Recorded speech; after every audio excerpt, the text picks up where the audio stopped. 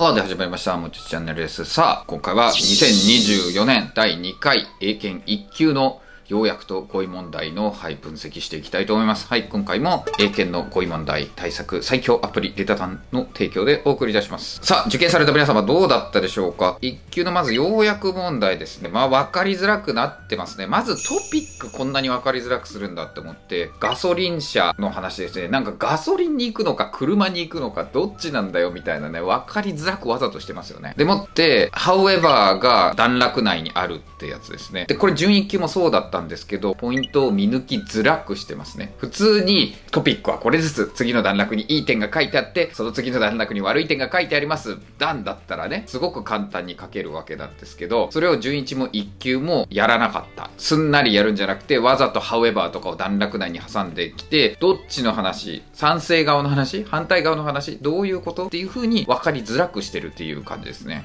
どうでした？受けた皆様。どのようにようやく書きました？結構厄介にしてるかなっていう感じです。まあだから東大のね、英語ずっと教えてきててたんで、まあいろんなパターンの要約を僕は見てるんで、あ、まあちなみにそのいい悪いとかっていう風に要約ができる場合はめちゃめちゃ簡単な年って言ってたんですけど、ね、対比構造でもうまとめがバンとできるのはめちゃめちゃ簡単な年とかって言ってたんですけど、やっぱそんな簡単なテンプレとかでは戦えないようにしてますね。だからテンプレートとか用意していった人は負けちゃったんじゃないかなって思いますね。続いては語彙問題それぞれ見ていきますね。どうだったでしょうか？初めて正解になったのが結構あるなっていう感じですね。まあ、出た単でも22問中20問正解いけるんで、初登場が2単語ですね。初めて登場したのが2単語あります。まあ、ただ、まあ、消去法ではいける。では行きましょう。最初が、スタイフォーですね。こんな締め殺す系で使うやつですけど、こう、抑えるってやつだった。5回目の出題で3回正解。で、面白かったのが、この問題、連鎖関係代名詞の中の動詞でしたよね。そう、構造が複雑になってるやつ。思うとか言うっていうのが関係詞の後ろ入ってるやつですね。あれで構造をちょっと見にくくなってたなって思ったね。あるもののせいでこう、いいことが押さえつけられちゃうみたいな意味でした。2問目は、どうすはい、4回目の出題で2回正解。おとなしいってやつですね。なんか見た目は 怖そうだけど、犬だったっけ？おとなしいよみたいな話でした。で、次が、vacillate ですね。はい。これが驚きの単語ですけど、5回目の出題で初めて正解になった初めて正解になったんですけど、これ今日まさにこの AK て級の試験が行われてる時に、アイドル失格の超過さんのイベントに出てたんですけど、生配信ですよ。その生配信で、客席から出た質問がこの単語だったんですよね。で、超過さんが知らないって答えたんですよ。だからアメリカ人の超過さんが知らない単語だったんで、相当難しいんじゃないですかね。どうしようかなって迷うやつですよね。で、次が extort ですね。はい。こう取り上げるみたいな意味で出てたと思いますけど、3回目の出題で初めての正解になってますね。続いてが、フィッシー。初めてですね。これ初登場場で初めての正解になっているやつですね。フィッシーは日常生活めっちゃ使えますね。something fishy about it とか、疑わしい、怪しいな、sounds fishy とかめっちゃよく使いますね。だから、まあ、解けていいんじゃないかなって思いますけどね。この日常英語に触れてたら、何度も聞く表現ですね。で、次が analogous ですね。はい。なんかと似てる、similar みたいですね。後ろに to 取ってましたよね。3回目の出題で初めての世界。ああ、初めてなんですね。まあ、よく見ますね。だ例え、アナロジーっていうのが例えなんで、アナロジーと一緒に覚えておけば、まあ、簡単かなと思います。類似とか類比っていう意味でも使えますもんね。で、次が contravene。なんかルールとかがあって、それに違反するみたいな。2回目の出題で初めての正解ですね。もう、初めてなんだ、これも。続いてが propel。まあ、これはできてほしいかな。4回目の出題で初めての正解なんだ。この推進する、プロペラですよ。プロペラっていうのはプロ前、ペルオスですから、そこから来てるので、まあこれはできてほしいかなって思いますね。そんな難しい単語じゃないです。なんとかペルっていっぱいあるじゃないですか。コンペルとかインペルとかね、リペルとか、たくさんあると思うんで。次が arguably。はい。これはどうなんだろう？難しいかな？簡単かな？見かけることを見かけるよね。まあおそらくみたいな、そんな意味のやつで。これは初登場ですね。初登場で初めての正解。で、でた単ね、1級と、あと TOEFL にも載ってるってことなんで、だから1級にかつて出たことがある。でた単 TOEFL 出てますから今ね。で続いて demise。4回目の出題で4回正解ですね。もういつも出てくるよね。ちなみに僕は昨日でた単1級の使ってみてたんですけど、これ出てましたよ。え、続いて interim ですね。はい。この中間のっていう意味と、あと暫定的な、一時的なみたいなんで使われるやつですね。interim government とかっていうので、まあ見たりしますね。ニュースとかで。で、 TOEICでも出たことある気がするんだよね。この暫定の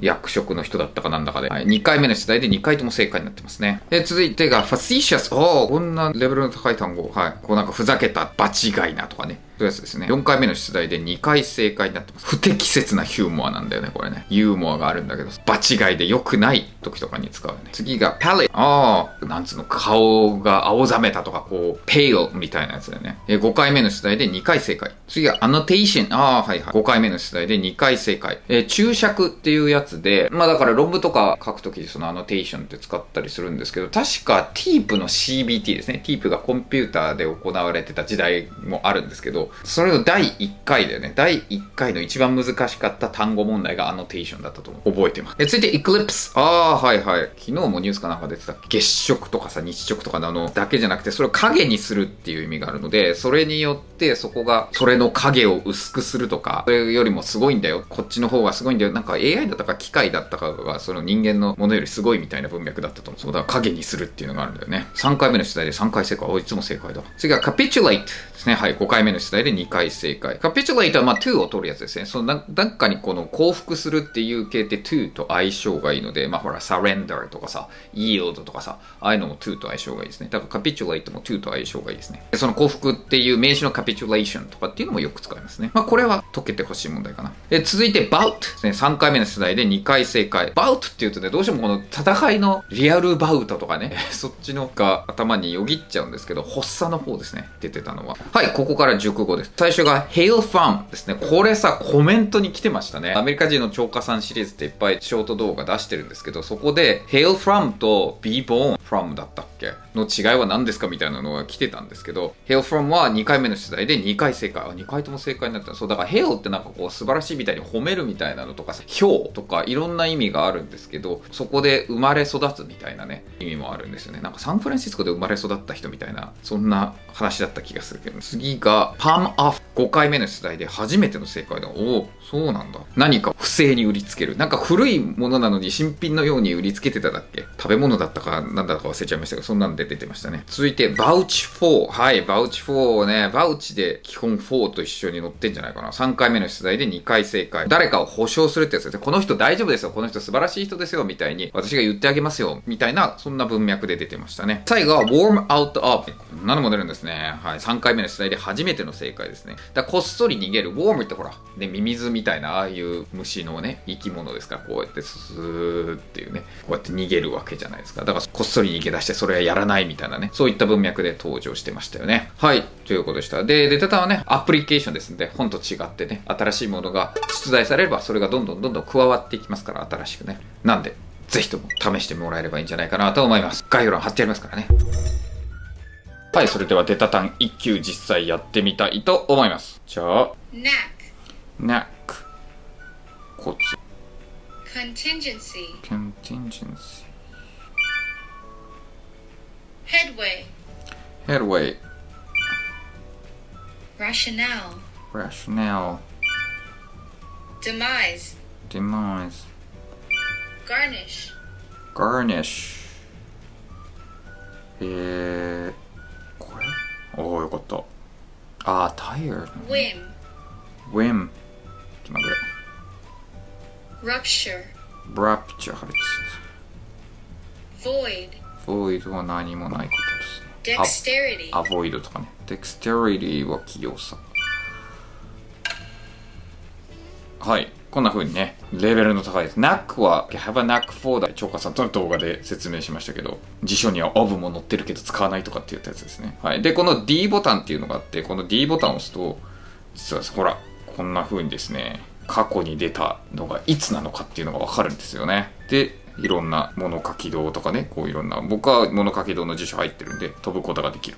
で、こういう風に、オーブもナックフォーも載ってますね、やっぱりね。辞書だけじゃなくて、一体どんな風に使われてるかっていうのをですね、この YouGlish で見ることができるんですよね。動画で見れる。YouTube の動画に行くんです。やっぱ、have a knack for でしたね。はい、これも have a knack for。Children have an uncanny knack of knowing the difference between living ministry ということで、あ、やっぱり have a knack for の形で使うんだな。実際英語はどう使われてるかは見れるんですよね。で、さらにカード機能っていうのがあって、カテゴリー選べるんですよね。この四角グループに入れるとか、三角グループ、×グループ、丸グループって言って、品詞で分けてもいいですしね。動詞、形容詞、名詞、副詞とかね。こう自分的にレベルが高いなとか間違えたとか、いろいろ分けられる。knack, そう、ナッコじゃあ、これ緑色だから緑にしましょうか Rationale. ラショナルはじゃあ三角に入れようとかね Ration. Demise. はいこれにとか Demise. Garnish. っていう風にグループ分けして後々自分で見ることができたりするので自分だけのオリジナルの単語カードっていうのを作ることができるってことですねはいぜひともデタタンやってみていただければいいんじゃないでしょうかはいでしょうありがとうございました Thank you for watching